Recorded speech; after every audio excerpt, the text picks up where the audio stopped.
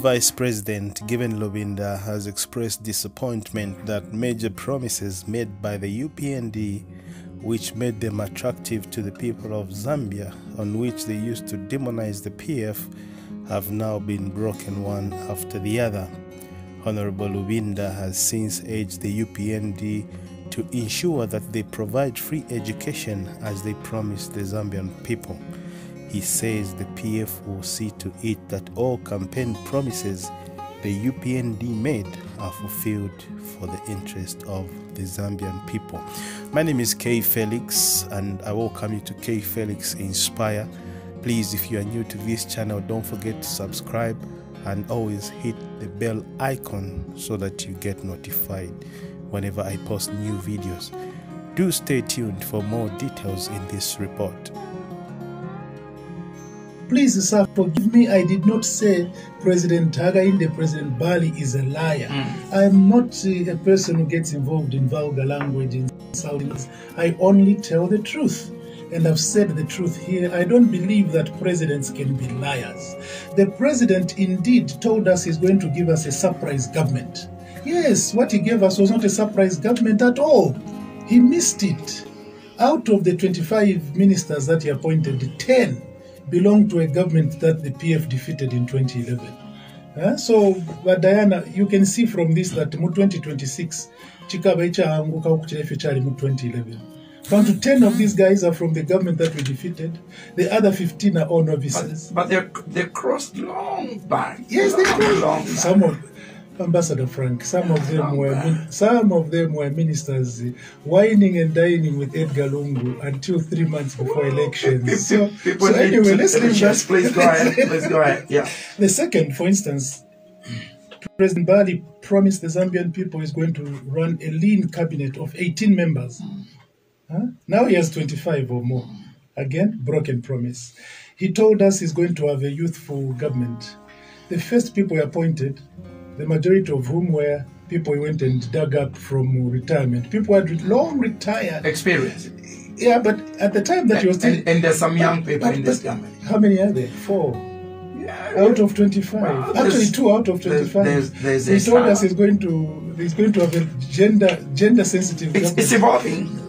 It's No, evolving. no. you know, this government, No, I- six, six months down the line, this government may not be the same. you remember remember what i said i said you must be cautious. As a politician you must be cautious how you put your statements. If you say i shall gradually do this then people will believe you. And if you put it as a statement of fact then it's a fact. It must be done there and then. So when i say that president uh, Bally must keep his promises it's because i don't want him to end up ending the name uh, bali muntu wabufi bmw i don't want the president of that name bali muntu Yeah. wabufi bmw no i want him to escape that name and he will escape that name by keeping his promises. For instance, he told the Zambian people, 1st of September, the price of maize will increase from 150 to 250. Please let him do that. He told the Zambian people, 1st of November, the price of minimum will be 50 kwacha. Please let him do that. And I want to encourage all members of parliament, PF members of parliament especially, not to be antagonistic. Mm. Please support Bally, support President Bally to deliver on his promises. Mm. Now, Chama, add more pressure. My friend, the way we're going to add pressure ourselves, we're not going to be like them who are walking in and out of parliament, who refused to call President Edgar Lungu president. For me, I regard President Bally as His Excellency, the President of the Republic of Zambia. I'm calling him Bally because that is his popular name. Right. I don't think that President Edgar Lungu would feel any injury if we call him ECL because Yeah. that's his trademark. Mm-hmm. So when I say President Bally, I'm just using the name that he loves. President Bally must be supported. But we are going to pressure him by making sure that we keep checking the boxes that he told us to check. Mm-hmm. All the promises he made, he must deliver on them. Mm-hmm. We're not going to insult him at all. We're going to mm-hmm. keep him completely uh, in in sufficient space for him to deliver. That is that is what we want. And I'd like to appeal to my friends in the Patriotic Front. I know that a lot of them uh, are living under fear. Yeah. As I speak now, there are still members of the Patriotic Front who are not in their homes because they're being harassed, they're being chased, they're being intimidated. Please, please, my friends, you won elections. Allow your president now to govern in an environment of peace.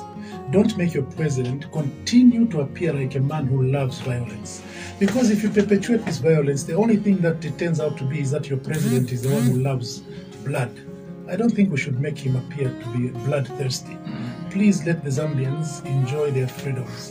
You, ju- you just made reference to that some are not in their homes. I mean, the, the, the, the reports, you know, that some of them are just afraid of some of the perceived sins they committed. And uh, could you clarify that, you know, some of the PF members uh, running away, going out of the country because of some of the perceived their sins?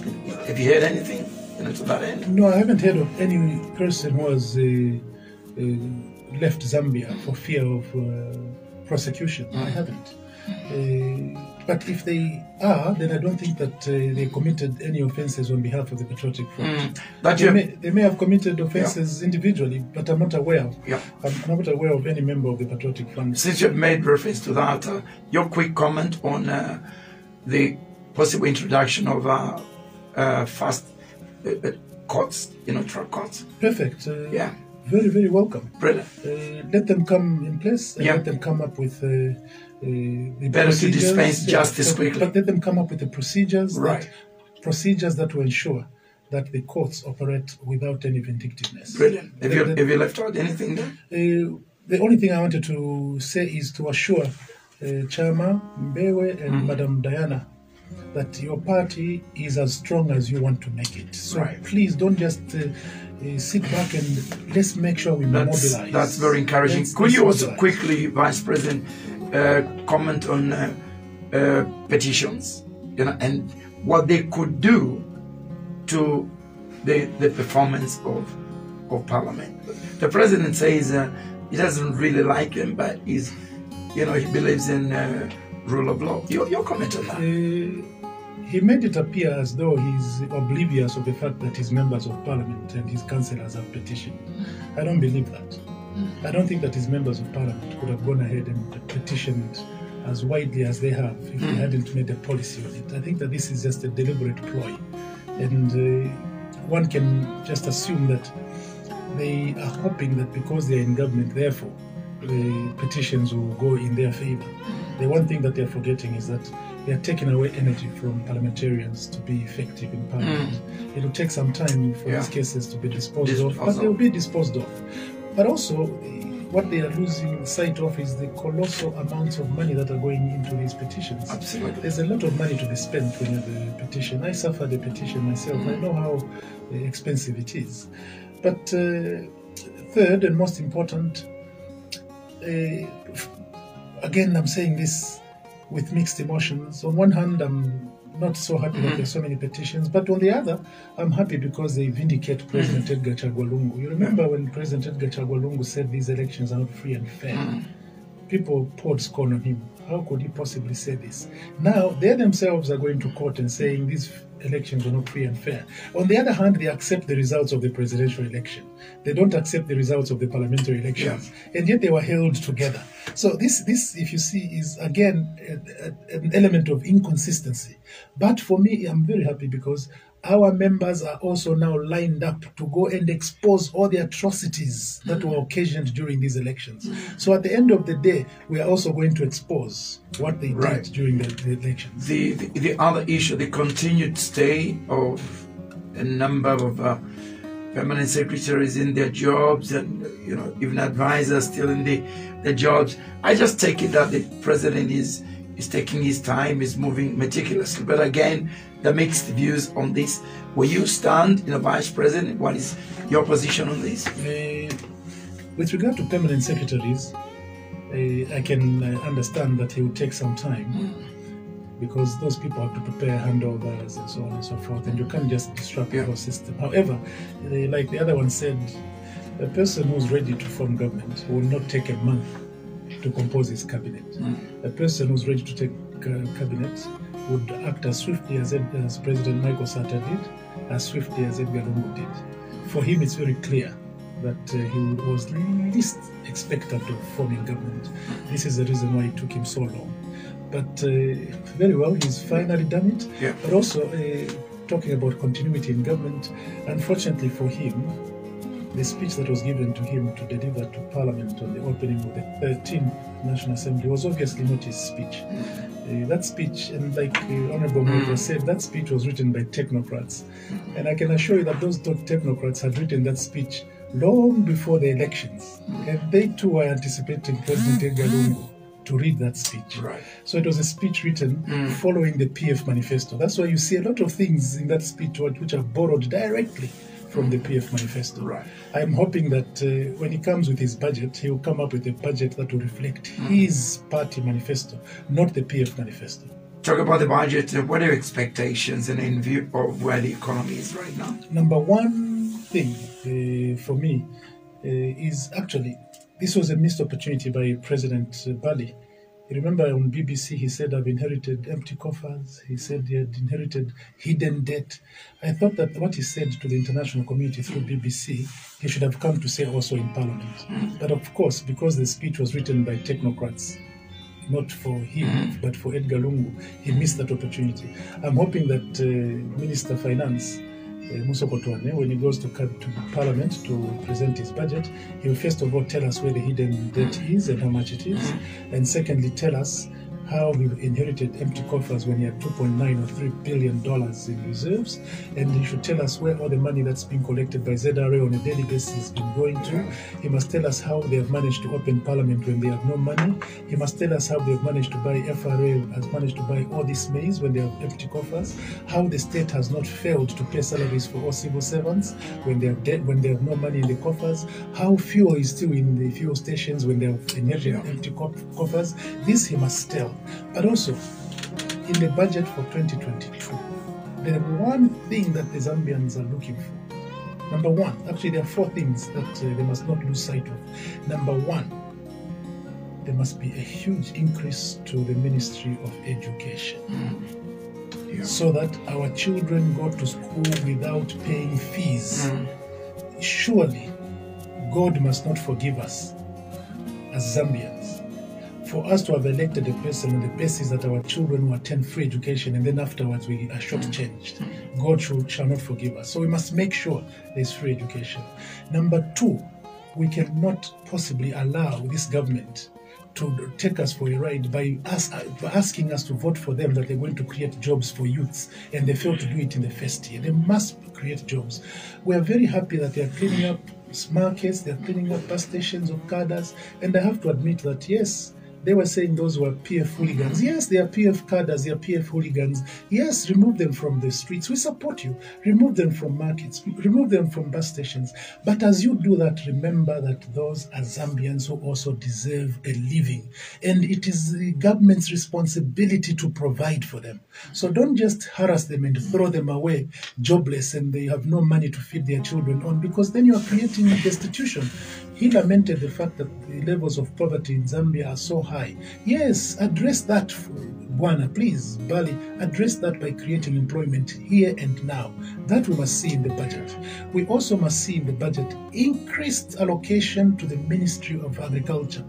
We want our farmers to produce more. If you look at the PF manifesto, we talked about realigning the farmer input support program. And he has adopted that, and actually, him has gone even further by saying he will give 12 bags of fertilizer per farmer, he will reduce the cost of fertilizer to 200 kwacha. Let us see that in the budget of 2022 because this is in the interest of the Zambian people. We also want to make sure that uh, President Bally goes out and opens up more road infrastructure because you cannot possibly grow agriculture without investing in the road network. There are many places where uh, President Edgar Chagwa Lungu may not have managed to open roads. Those are roads that are waiting for him now to open up. He spoke about uh, water harvesting. If you look at the PF manifesto, and that's why I'm saying this speech was purely a PF manifesto speech. In the PF manifesto, we said that going forward, we're going to expand on the number of dams that we're opening up for the sake of increasing irrigated agriculture. President Edgar Lungu, in the five years that he was president, he opened up five new dams, the biggest one being Mwomboshi. I hope that President Bally will also show in his budget in 2022 budget that he has allocated money to opening up new dams. So we are very, very expectant. And all I can do is to wish him the very best. Mm. I really hope that this time that he has, he's changing the PF government budget mm. because the PF, even during the elections, the government was in place and it was crafting the budget, but it was crafting it based on the Edgar Chagwa Lungu policies, the Edgar Chagwa Lungu PF manifesto. I hope that he has had the time now to ask the technocrats to realign the budget to suit his manifesto. Right. Before I ask you my two final questions, I just want you to quickly uh, comment on this. Um, the president at the inaugural, uh, is the inaugural speech, he said it's not about changing of power, it's about changing of leadership, because power belongs to the people. How would you love this to be practiced, realized in this context, Vice President? Yes, in accordance with the Constitution, power, executive power, vests in the people of Zambia. Mm. So no one has ever said that there is any difference of opinion on that matter. And no one should try and make themselves a philosopher by saying what is obvious. Uh, that is not any philosophy at all. It's not a philosophical statement. That's a statement of fact. What changes is leadership. Power still vests in the people. And yes, now there is change of leadership, and the new leadership has a duty to deliver to the expectations of the holders of power, the Zambian people. Yeah.